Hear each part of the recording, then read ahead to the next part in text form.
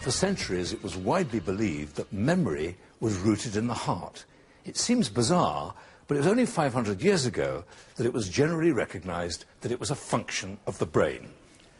Our memory breaks down into three key processes acquisition, storage, and retrieval. We take information in through our eyes, ears, or touch.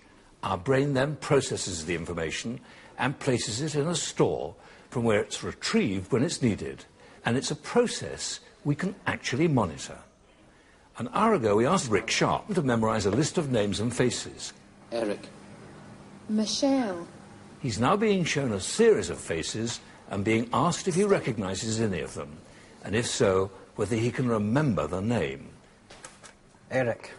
At the same time, Dr. David Donaldson and his research assistant Graham Mackenzie have been monitoring his brain activity with an EEG or electroencephalogram machine. Rick's sitting in a Faraday cage to prevent outside electrical signals interfering with the readings. So here we can see the brain activity as it's being recorded from Rick's uh, electrodes on his scalp, and it shows the change in voltage over time from the individual electrodes.